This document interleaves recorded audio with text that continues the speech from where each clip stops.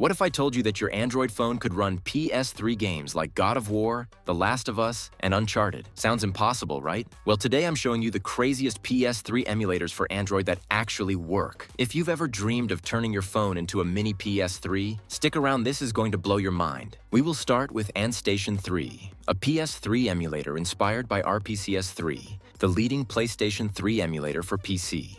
It became popular because it offered something many thought impossible, a real chance to play PS3 games on Android. It can run select titles, but only on powerful devices. You'll need at least a Snapdragon 780G, 6GB of RAM, and an Adreno 660 GPU. The files can be downloaded from the official site, and while setup is a bit technical, once configured, you can play PS3 games directly on your phone. Keep in mind though, the project has been paused, and some users were put off by the Termux setup and high-performance requirements. Olympus Emulator is another RPCS3-based PS3 emulator for Android, known for pushing the limits of mobile emulation. Its unique claim? It was the first PS3 emulator to run on non-Snapdragon devices, making it a lifeline for many users in the early days. Olympus requires powerful hardware, ideally Snapdragon 8 series chips and 12 gigabytes RAM, and the setup is similar to AndStation 3. In terms of raw performance, it's impressive, handling modern PS3 titles surprisingly well.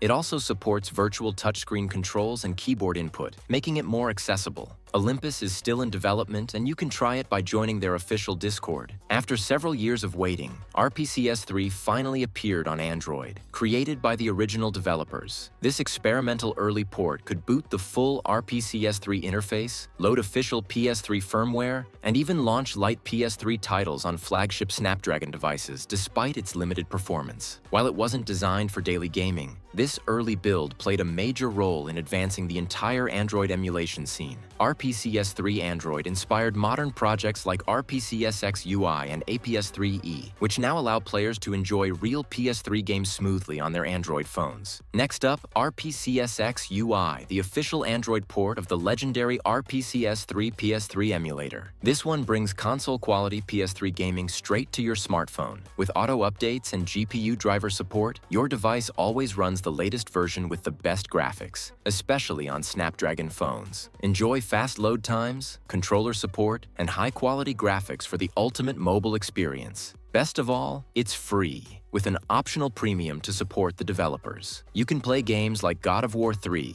Uncharted 2 and 3, The Last of Us, Demon's Souls, Gran Turismo 6, Metal Gear Solid 4, and many more. RPCSX UI is literally turning Android phones into mini PS3 consoles. Finally, we have APS3E, perfect for anyone who wants a hassle-free setup because it's available directly on the Google Play Store. It's free, regularly updated, and ported from RPCS3 very similar to RPCSX UI, but with faster, more frequent improvements. There's also a paid version, but it doesn't unlock extra features, it just supports the developer. Both APS3E and RPCSX UI support PKG and ISO formats and require official PS3 firmware, allowing wide game compatibility.